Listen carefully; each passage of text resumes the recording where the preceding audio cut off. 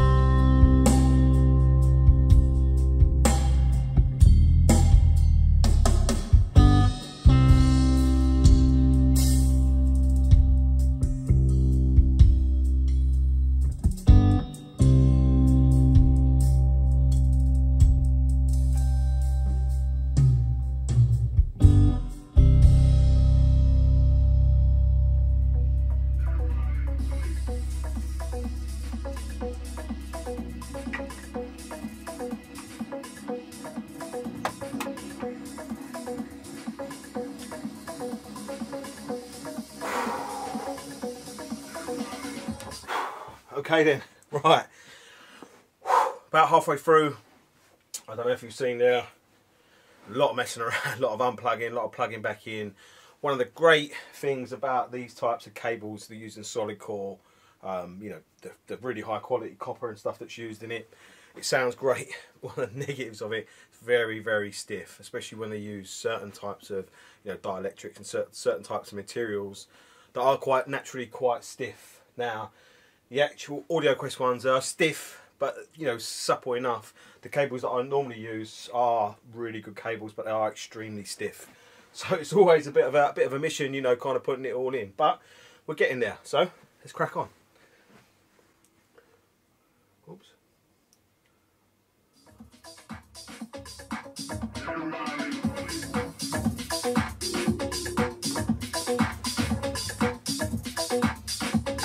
Quickly, just to explain what I've done so far. Obviously, I've unplugged a lot of things. I've left some things obviously wired in and plugged in, i.e. the subwoofers, because obviously the cable runs along the bottom. I've also left the Arcam plugged in, but they're not going to be connected to the Niagara initially. Initially, all we're going to do, we're going to connect the Mark Levinson number 585. I've been a little bit cheeky and kept that specifically for this review, and I'll explain why later. So what I've done, I've connected the Mark Levinson, obviously to the high, one of the higher current outlets of the Niagara, and then we've got three connections currently.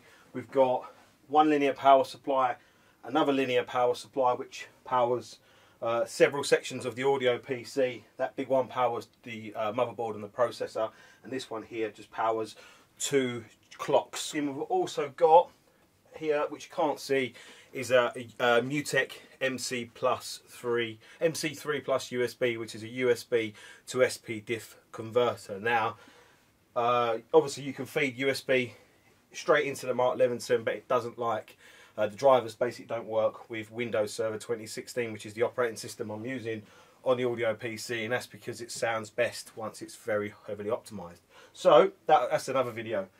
So that's what we've got plugged in at the moment. We've got the linear power supply, linear power supply, uh, Mutec MC3 Plus USB, and the Mark Levinson, which is pretty much our system ready to go.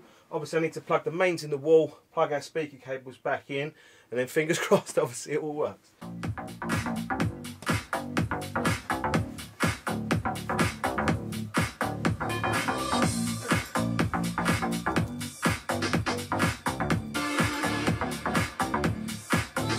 Quickly, just one other thing. In this room, uh, our cinema room, we have a dedicated mains feed with its own um, circuit board. So basically, which it was all done part of the renovation. So we literally have, there's only really two double plug sockets which powers the whole system and that system alone. And it literally is a four millimeter cable from the fuse board down to a Furutech uh, gold FU, FIUK gold double socket which is down in the corner. Now the very first uh, link on the, the circuit is the one that powers the whole system. And to keep the you know the power testing to keep the testing of the Niagara fair I've literally plugged straight back into the same main plug that I would use normally. So just to keep things all fair. So that is really what all this effort is about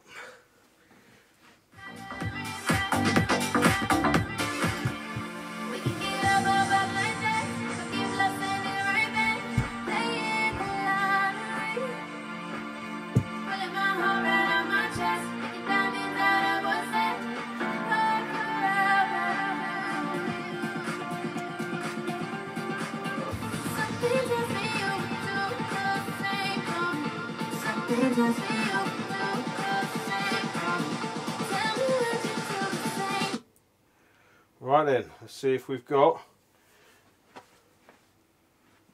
tunes.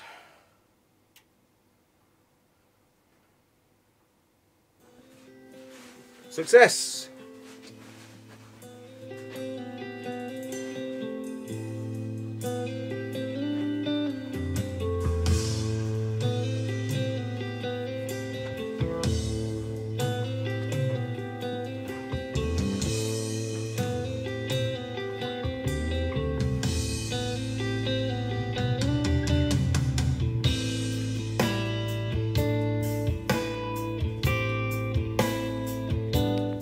Wow, wow. Well, look, everything's a mess. There's literally stuff everywhere. Look at me, state of me. Obviously, I've got everything running. I've just been having a little listen, maybe 10, 15 minutes and uh,